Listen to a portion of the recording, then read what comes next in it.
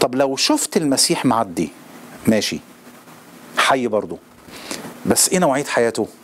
آه فيه نوع حياة لم نراه سابقا. اسمها الحياة الأبدية. فالحياة الأبدية دي مش مقصود بها ان أحيا إلى الأبد لا لكن مقصود بها نوعية حياة. هي ذات حياة الله. الله حي. ما نوعية حياته؟ هي حياة اسمها الحياة الأبدية لأن لا أحد آخر غير الله يمتلك هذه الحياة. أعلنت هذه الحياة في التجسد. ليه؟ لأن الله من فرط حبه لينا. منحنا نفس هذه الحياة. كل نفس تتوب وترجع للمسيح تنال هذه الحياة.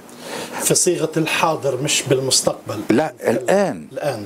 فبدل ما بتسري فيا فقط حياة إنسانية قابلة للموت تسري فيا الآن حياة إنسانية وتسري فيا الآن الحياة الحياة الأبدية. وبالتالي أصبح حاجة جميلة يا أخي نزار. إيه؟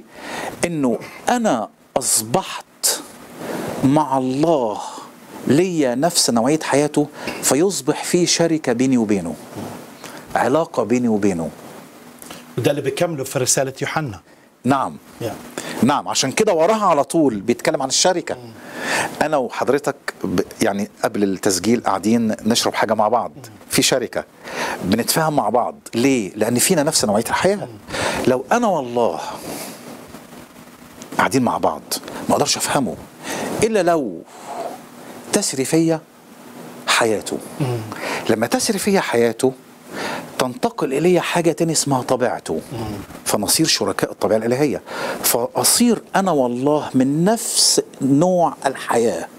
فيصبح بيني وبينه شركة. فالله لما يتكلم أقدر أفهمه.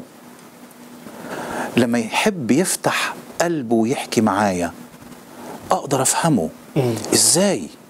إزاي أصبحت أنا الإنسان المخلوق الناقص الضعيف الساقط الترابي أقعد مع الله العظيم ويكلمني وأفهمه إزاي؟ دي نعمة مهولة اسمها الحياة الأبدية.